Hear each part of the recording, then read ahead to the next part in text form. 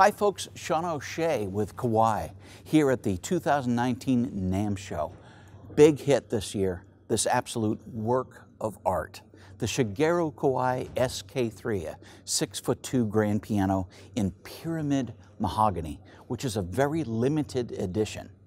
This piano not only looks beautiful, but feels and sounds amazing. And we have had some fantastic people stop by to sit and play this piano. One in particular really impressed us. Check it out.